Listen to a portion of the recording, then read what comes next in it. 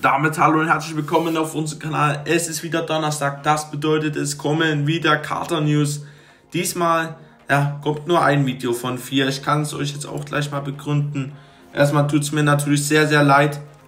Ähm, am Donnerstag kommen ja immer die Saisonrückblicke raus und dann tue ich, ob dann jemand noch schreibt am Donnerstag oder Freitag, ne?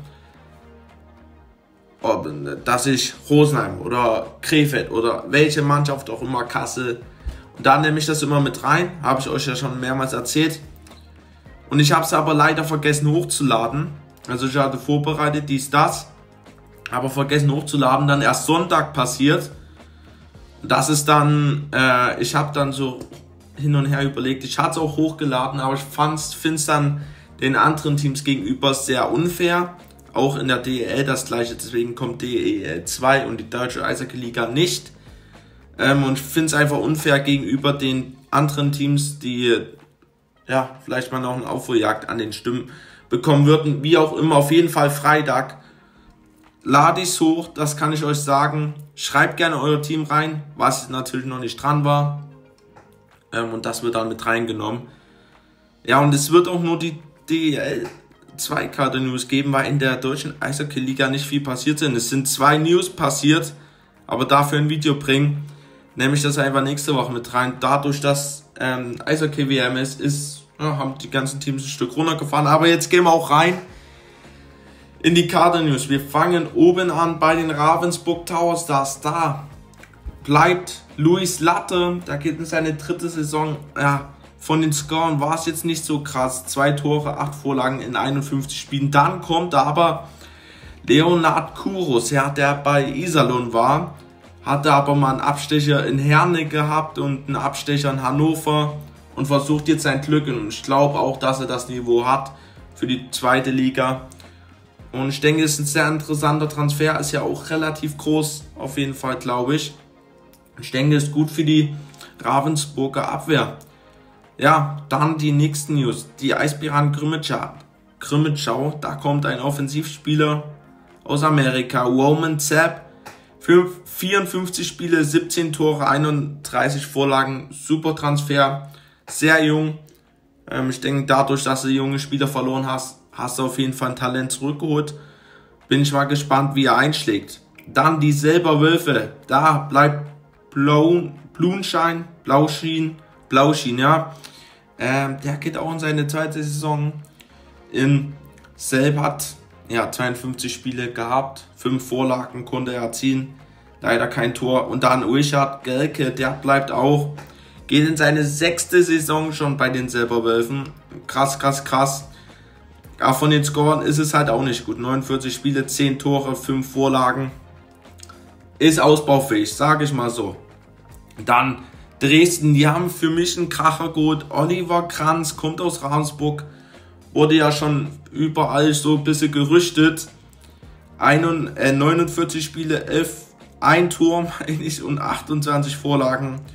Und ich denke einfach ein sehr, sehr guter Transfer für die Defensive. Und da macht Dresden auf keinen Fall was falsch.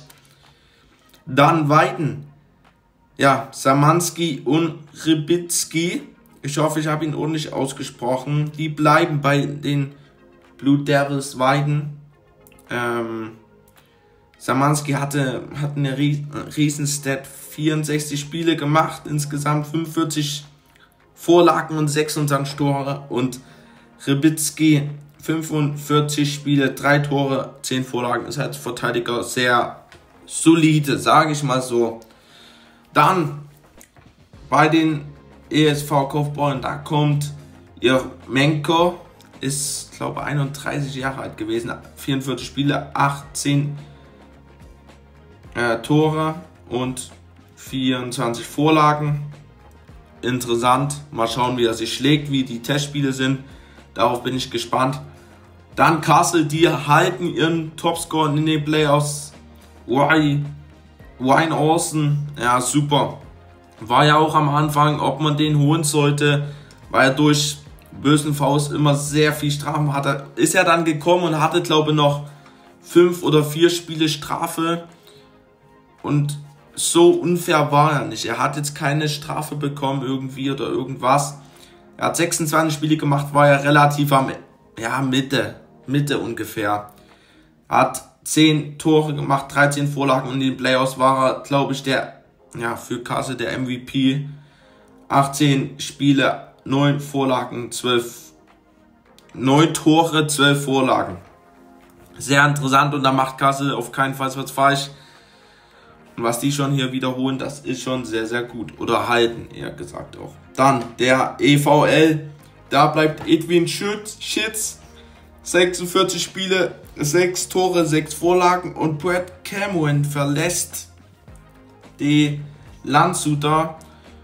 Ja, ist ein guter Spieler gewesen. Hat immer so schon sehr solide, wenn nicht sogar ein Stück besser, bessere Scorer. Also auch kein leichter Verlust, aber ich denke mal, wird sich da gut ersetzt damit ähm, zum Beispiel Jack DeWemus.